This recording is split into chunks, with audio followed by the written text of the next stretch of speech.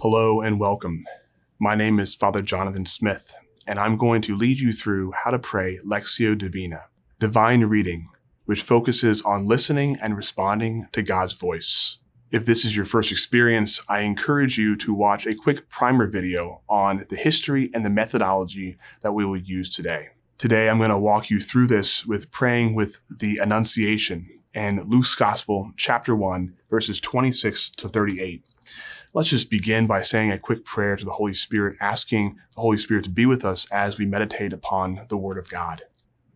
In the name of the Father, and of the Son, and of the Holy Spirit. Amen.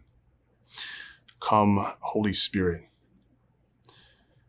be with us in this time of prayer as we meditate upon the Word of God, listening to God's voice, and responding with great courage.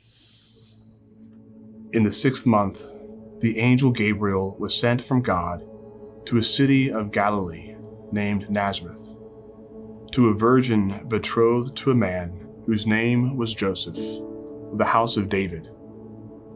And the virgin's name was Mary. And he came to her and said, Hail, full of grace, the Lord is with you. But she was greatly troubled at the saying, and considered in her mind what sort of greeting this might be. And the angel said to her, Do not be afraid, Mary, for you have found favor with God. And behold, you will conceive in your womb and bear a son, and you shall call his name Jesus. He will be great and will be called the Son of the Most High.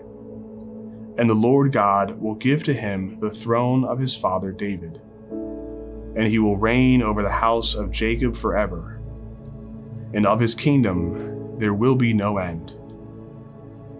And Mary said to the angel, How will this be? since I do not know man. And the angel said to her, The Holy Spirit will come upon you, and the power of the Most High will overshadow you. Therefore, the child to be born will be called Holy, the Son of God. And behold, your kinswoman Elizabeth, in her old age, has also conceived a son. And this is the sixth month for her who is called barren for with God nothing will be impossible. And Mary said, Behold, I am the handmaid of the Lord. Let it be to me according to your word. And the angel departed from her.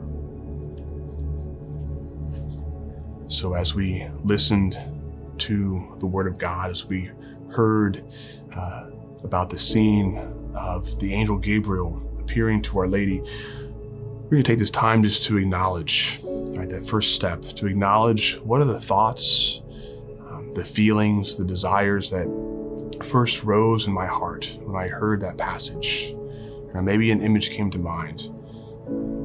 Maybe I'm thinking of a time when I received some news myself. I was unsure how to how to take it. Or maybe um, I'm remembering when I was asked by God to do something and I said my yes, and I trusted in the words of the Lord.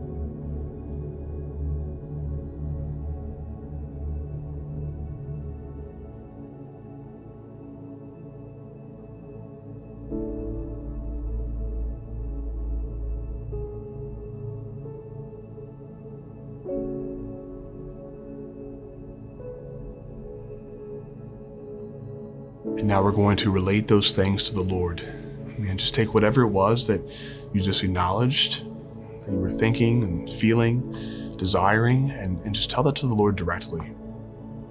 Lord, I, I, I think this. Lord, Lord, I, I feel like I, I want to trust you more. Um, Lord, I, I want to um, believe uh, in the words that you speak to me. And just tell the Lord directly, right from your heart.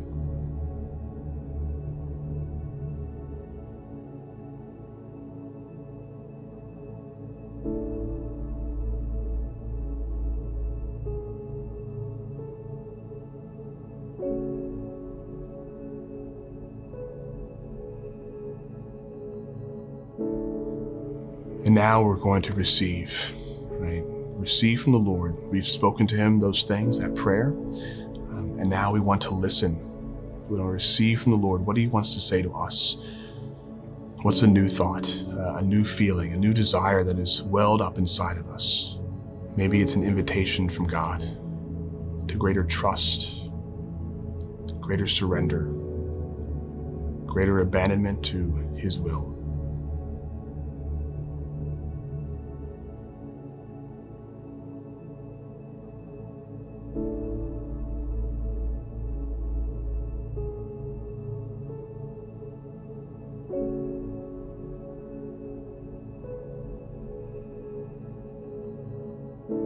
Now we're going to respond.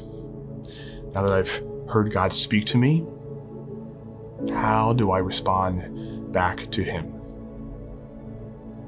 Maybe I, I thank Him for His words to me, or I resolve to do something, resolve to have a greater trust, a greater surrender, asking Him for the grace to be able to do so.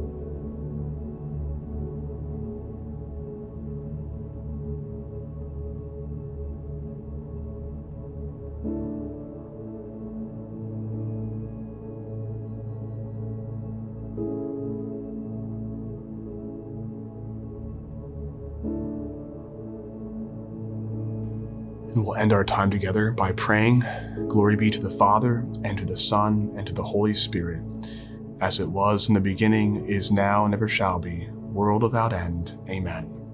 In the name of the Father, and of the Son, and of the Holy Spirit. Amen. Well, thank you for joining me for this time of prayer today.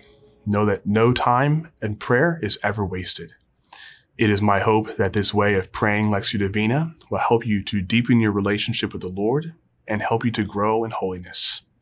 God bless.